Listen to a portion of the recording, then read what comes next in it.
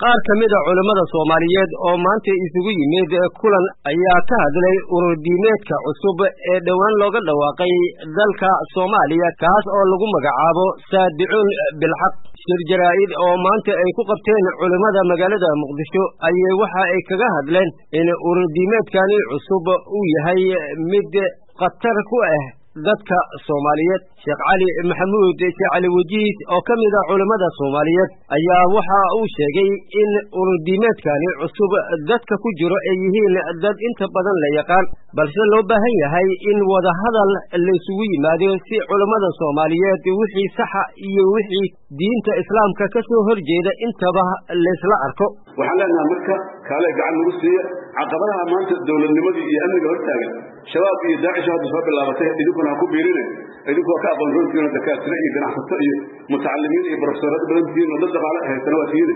حد يبقي دق إلا قلاي إذا نبدأ ليه وحكتوا في حاجة مجرانة. ميسك الموضوع ماذا عن حوار قلبه dowladnimada aan taageerno wixii ka qaldanna aan saxno sheekh bashiir axmed salaad oo ah guddoomiyaha hay'adda culammada soomaaliyeed oo isna hadlay ayaa waxa uu sheegay in ururdiimeedkani cusub uu khatar ku yahay dadka soomaaliyeed. Loona baahan yahay in laga hor tago waxaan doonayna marka inaan fahmno markaanu aan ka hadlayno arrimahan in dad la colaadinayo ama dad la aflagaadaynayo ama dad wax loo geysanayo. Ma aha. Ee waxaa weeye anagoo gudanayna waajibkii diinta islaamku ayna saartay iyo xaqa ay diintaas lagu leedahay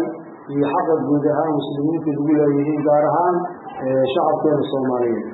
Marka waxaan rabnaa inaan fahmno jamaacadaas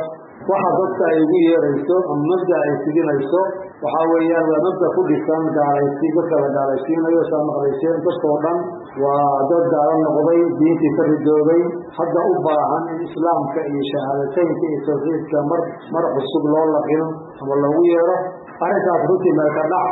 weyn ayuu ku yahay diinta islaamka ayuu ku yahay shacabka muslimiinta soomaaliyeed. Sidoo kale sheekh yuusuf cali ceynte guddoomiyaha majmaca culimmada ayaa ururkani ku tilmaamay mid ka baxay diinta islaamka. Dhammaan ummadda soomaaliyeed runtii waa waxasiihiina in dad magacooda marku hadlayo